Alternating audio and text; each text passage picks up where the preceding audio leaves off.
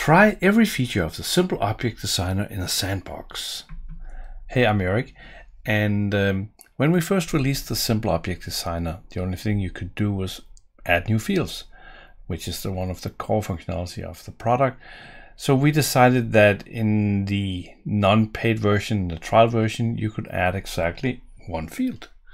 Um, and since then, we have added tons of new features. You can create tables, you can create all sorts of things uh, with the Object Designer, but we still kind of hung on to the uh, the one field limitation in a trial version, which didn't really give you the opportunity to, to experience all the stuff that the Object Designers can do.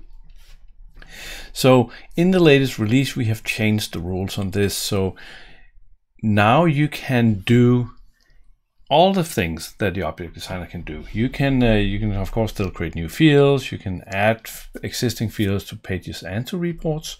Uh, you can expose uh, data as APIs and you can create new features. And new features can be new tables of different types. You can, you can create a role center and, and you can combine all these things into create a complete solution if you would like. Um, and the new thing is that you can now do all of this in a sandbox.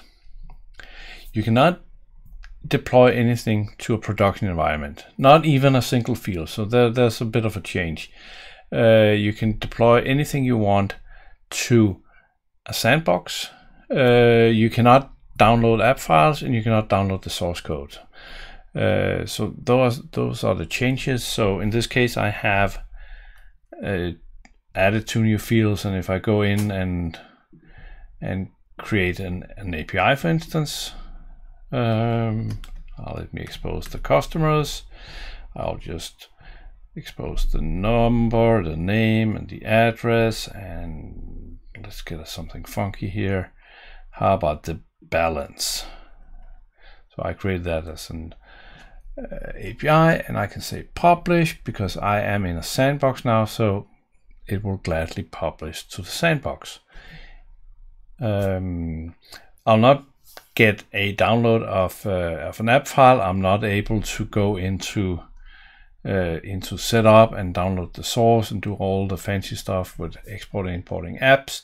That's still only in the paid version you can do that. So try out all the features in the sandbox and if you like it you can go to this page and and buy a license and put in the license code here and you're all set. So at that point what you have created in the sandbox can now be downloaded and deployed to your production if you like.